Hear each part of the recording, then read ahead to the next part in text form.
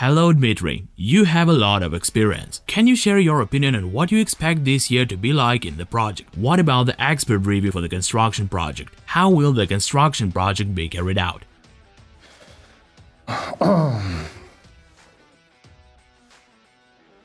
what will this year be like? Well, I think that the turmoil that has just started will not end without any consequences. And so quickly, this is just the beginning. The socio-economic system is being disrupted drastically because the post-industrial period has caught up with us. And it's not about the coronavirus. A lot of people have observed that all post-Soviet enterprises are being depreciated. There is no replacement of the technology. The VAT has been putting pressure on the enterprises taking its toll finally, and there have been no upgrades. And now as a result, I think all of these enterprises will cease to exist. However, the crisis will end, and what will replace these enterprises? New kind of relations must be built. This is like the post-war devastation. It enhances some types of technologies and industrial production, arms industry and so on. Now,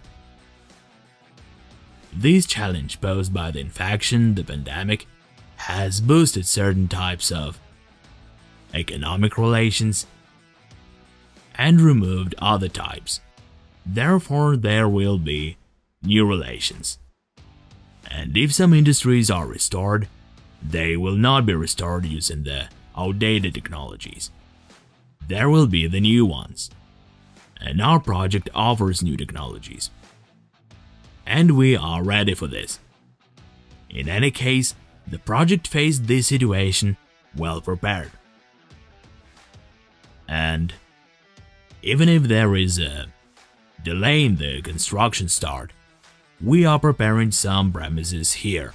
And when I was asked the question, Dmitry Alexandrovich, why are you preparing them additional premises? When you build the engineering center, you'll continue developing there. I said, you see, you never know what might happen the next moment. So we complete some part and this part should immediately be included in our activity. We have to work stage-wise. You can't just come and eat the whole elephant. You have to eat it in pieces, absolutely. And so this approach turned out to be justified. So when the quarantine ends, we will be ready not only to work with the documentation, but also to implement a specific project and specific product.